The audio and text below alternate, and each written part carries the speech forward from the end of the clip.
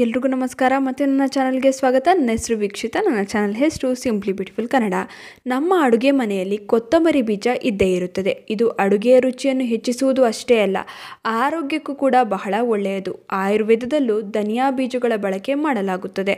ಇದು ಹಲವಾರು ರೋಗಗಳಿಂದ ನಿಮ್ಮನ್ನು ಕಾಪಾಡುವ ಶಕ್ತಿಯನ್ನು ಹೊಂದಿದೆ. ಹಾಗೆ ಹಲವಾರು ರೋಗಗಳನ್ನು ಗುಣಪಡಿಸುವ ಶಕ್ತಿಯನ್ನು ಹೊಂದಿದೆ. ಬನ್ನಿ ಹಾಗಾದರೆ ಇವತ್ತಿನ ವಿಡಿಯೋನಲ್ಲಿ ಧನಿಯಾ ಬೀಜದ ಉಪಯೋಗಗಳ ಬಗ್ಗೆ ತಿಳಿಯೋಣ. ಧನಿಯಾ ಬೀಜವನ್ನು ಹೇಗೆ ಉಪಯೋಗ ಮಾಡಬೇಕು? ಇದರಿಂದ ಯಾವೆಲ್ಲ ರೋಗಗಳಿಂದ ಮುಕ್ತಿ ಹೊಂದಬಹುದು ತಿಳಿಯೋಣ. ನಿಮಗೆ ಗೊತ್ತಾ? ಧನಿಯಾ ಬೀಜ ಅಥವಾ ಕೊತ್ತಂಬರಿ ಬೀಜದ ಸೇವನೆಯಿಂದ ಭಯಂಕರದಲ್ಲಿ ಭಯಂಕರ ರೋಗಗಳನ್ನು ಗುಣಪಡಿಸಿಕೊಳ್ಳಬಹುದು. ನಿಮಗೆ ಡೈಜೆಷನ್ ಸಂಬಂಧಿ ಕಾಯಿಲೆಗಳಿದ್ದರೆ, ಮಧುಮೇಹ ಸಮಸ್ಯೆ ಇದ್ದರೆ, ದೇಹದಲ್ಲಿ ಯೂರಿಕ್ ಆ್ಯಸಿಡ್ ಹೆಚ್ಚಾಗಿದ್ದರೆ ಆರ್ಥರೈಟಿಸ್, ರಕ್ತಹೀನತೆ, ಹಾರ್ಟ್ ಪ್ರಾಬ್ಲಮ್ಸ್, ಪಿರಿಯಡ್ಸ್ ಸಂಬಂಧಿಸಿದ ಯಾವುದೇ ತೊಂದರೆ ಇದ್ದರೆ ಅಂದರೆ ಇರ್ರೆಗ್ಯುಲರ್ ಪಿರಿಯಡ್ಸ್ ಈ ರೀತಿಯ ತೊಂದರೆ ಇದ್ದರೆ ಇನ್ನು ಹೈ ಕೊಲೆಸ್ಟ್ರಾಲ್ ಸಮಸ್ಯೆ ಇದ್ದರೆ ದೇಹದಲ್ಲಿ ತೂಕ ಹೆಚ್ಚಾಗಿದ್ದರೆ ಥೈರಾಯ್ಡ್ ಇದ್ದರೆ ಇವಾಗಂತೂ ಥೈರಾಯ್ಡ್ ಸಮಸ್ಯೆ ಬಹಳ ಹೆಣ್ಣು ಮಕ್ಕಳಿಗಿದೆ. ಈ ಸಮಸ್ಯೆಗೂ ಕೂಡ ಧನಿಯಾ ಬೀಜ ಬಹಳ ಒಳ್ಳೆಯದು. ಅಷ್ಟೇ ಅಲ್ಲ ಕೂದಲು ಹಾಗೂ ಸ್ಕಿನ್ ಪ್ರಾಬ್ಲಮ್ಸ್ಗೂ ಉತ್ತಮ. ಧನಿಯಾ ಬೀಜ ಬಿ ಪಿ ಸಮಸ್ಯೆಗೂ ಬಹಳನೇ ಉತ್ತಮ. ಧನಿಯಾ ಬೀಜದಿಂದ ಇಷ್ಟೆಲ್ಲ ಲಾಭವನ್ನು ಪಡೆಯಲು ಸೇವಿಸುವ ಸರಿಯಾದ ವಿಧಾನವಿದೆ. ಹಾಗೆ ಮಾಡಿದ್ರೆ ಹಂಡ್ರೆಡ್ ಪರ್ಸೆಂಟ್ ನಿಮಗೆ ಸಮಸ್ಯೆಗೆ ಪರಿಹಾರ ದೊರೆತಂತೆ.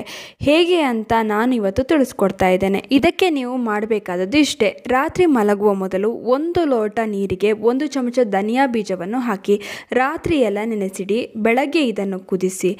ಒಂದು ಗ್ಲಾಸ್ ನೀರು ಅರ್ಧ ಲೋಟ ಆಗುವ ವರೆಗೂ ಕುದಿಸಿ, ನಂತರ ಇದನ್ನು ಶೋಧಿಸಿ ಕುಡಿಯಿರಿ.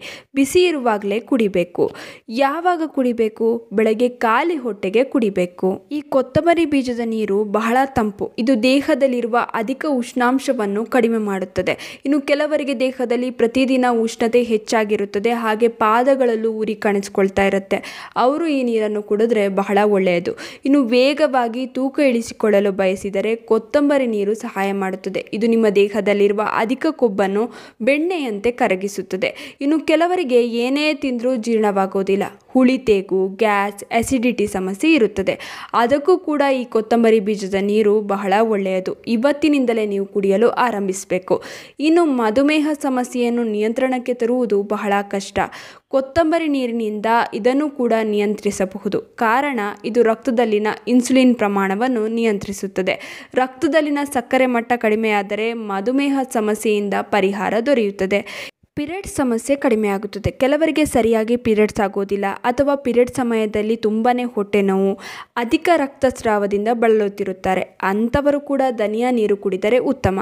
ಅನಿಮಿಯಾ, ರಕ್ತಹೀನತೆ ಸಮಸ್ಯೆ ಕೆಲವರಿಗೆ ಇದೆ. ಇದಕ್ಕೂ ಕೂಡ ಕೊತ್ತಂಬರಿ ಬೀಜದ ನೀರು ಬಹಳ ಉತ್ತಮ. ಇದು ದೇಹದಲ್ಲಿ ರಕ್ತದ ಪ್ರಮಾಣವನ್ನು ಹೆಚ್ಚಿಸುತ್ತದೆ. ಕೆಲವರಿಗೆ ಕೂದಲು ವಿಪರೀತವಾಗಿ ಉದುರುತ್ತದೆ. ಏನೇ ಹಚ್ಚಿದರೂ ಪರಿಹಾರ ದೊರೆಯೋದಿಲ್ಲ ಅಂಥವರಿಗೆ ಇದು ಉತ್ತಮ. ಕೊತ್ತಂಬರಿ ನೀರು ಕುಡಿಯುವುದರಿಂದ ಇದು ಕೂದಲನ್ನು ಬಲಪಡಿಸುತ್ತದೆ. ಕೊತ್ತಂಬರಿ ಬೀಜದಲ್ಲಿ ವಿಟಮಿನ್ ಕೆ, ವಿಟಮಿನ್ ಸಿ ಮತ್ತು ವಿಟಮಿನ್ ಎ ಹೇರಳವಾಗಿದೆ. ಹೀಗಾಗಿ ಕೂದಲು ಉದುರುವುದು ತಕ್ಷಣವೇ ನಿಂತುಬಿಡುತ್ತದೆ. ರಕ್ತವನ್ನು ಶುದ್ಧೀಕರಿಸುತ್ತದೆ. ಇದರಿಂದ ಮೊಡವೆ ಮೂಡೋದಿಲ್ಲ. ಹಾಗೆ ಮುಖದಲ್ಲಿ ಕಲೆಗಳಿದ್ದರೆ, ಪಿಗ್ಮೆಂಟೇಷನ್, ಮೊಡವೆ ಕಲೆ ಯಾವುದೇ ರೀತಿಯ ಕಲೆಗಳಿದ್ದರೆ ಅದು ಕೂಡ ನಿವಾರಣೆಯಾಗುತ್ತದೆ. ಕೆಲವರಿಗೆ ಮೊಣಕಾಲು ನೋವು ಕೀಳುಗಳಲ್ಲಿ ನೋವು, ಹಾಗೆ ಸಂಧಿವಾತದ ಸಮಸ್ಯೆ ಇರುತ್ತದೆ. ಅದನ್ನು ಕೂಡ ಈ ಕೊತ್ತಂಬರಿ ಬೀಜದ ನೀರು ನಿವಾರಿಸುತ್ತದೆ. ಇದು ನಿಮಗೆ ತುಂಬಾ ಆರಾಮವನ್ನು ಒದಗಿಸುತ್ತದೆ. ಬೇಡದ ಕೊಲೆಸ್ಟ್ರಾಲ್ ಅನ್ನು ಕರಗಿಸುತ್ತದೆ. ಇದರಿಂದ ಹೃದಯವು ಆರೋಗ್ಯವಾಗಿರುತ್ತದೆ. ಹೈ ಕೊಲೆಸ್ಟ್ರಾಲ್ ಸಮಸ್ಯೆ ಇರುವವರು ಪ್ರತಿದಿನ ಧನಿಯಾ ನೀರನ್ನು ಕುಡಿದರೆ ಒಳ್ಳೆಯದು.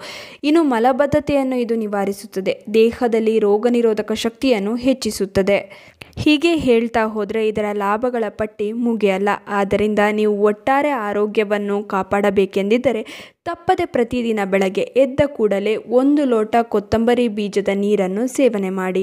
ನೋಡೋದ್ರಲ್ಲ, ನಮ್ಮ ಅಡುಗೆ ಮನೆಯಲ್ಲಿರುವ ಧನಿಯಾ ಬೀಜದಿಂದ ನಿಮಗೆ ಊಹಿಸಲು ಸಾಧ್ಯವಿಲ್ಲದಷ್ಟು ಆರೋಗ್ಯ ಲಾಭ ದೊರೆಯುತ್ತದೆ. ಆದ್ದರಿಂದ ತಪ್ಪದೆ ಪ್ರತಿದಿನ ಧನಿಯಾ ಬೀಜದ ನೀರನ್ನು ಕುಡಿಯಲು ಮರೆಯದಿರಿ. ಇನ್ನು ಈ ವಿಡಿಯೋ ನಿಮ್ಮೆಲ್ರಿಗೂ ಇಷ್ಟ ಆಗಿರುತ್ತೆ ಅಂತ ಅಂದ್ಕೊಂಡಿದ್ದೀನಿ ಹೇಗೆ ಅನ್ನಿಸ್ತು ಅಂತ ಕಮೆಂಟ್ ಸೆಕ್ಷನಲ್ಲಿ ತಿಳಿಸೋದನ್ನ ಮರಿಬೇಡಿ.